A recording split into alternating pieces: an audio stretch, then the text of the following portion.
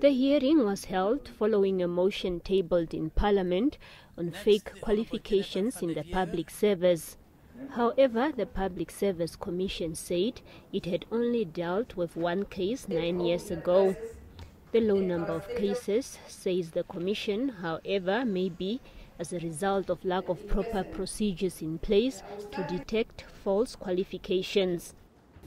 Act 20, Act 3 of 2020 also classifies falsification of or counterfeiting of a certificate or diploma purporting to have been issued in terms of Section 1232 of the same Act as an offense which a person is liable for a penalty not exceeding a fine of 40,000 Namibian dollars or a period of four years imprisonment or both. What we are actually telling the OMA is to say you can run two parallel at the same time.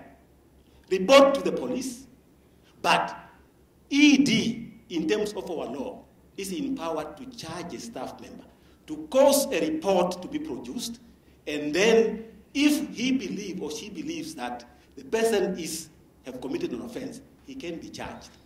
But we are saying they should not wait for one another. You report to the police, but you can also, at the same time, uh, move with the administrative um, procedures to charge a person. As part of the recruitment process, the Commission says it makes sure that documents attached to the job application are certified by the police. Looking at the seriousness of this issue, uh, they, they, should say, like they say in another paragraph where they say, I think that should be compelled. The minister should be compelled, the officers, to be compelled to report the matter to the Namibian police. Otherwise, if we say we are just encouraging them to report, there's a leeway to say to leave it and, uh, and escape with the matter. The Commission further says there is a need for institutions to collaborate and develop methods to deal with fake qualifications.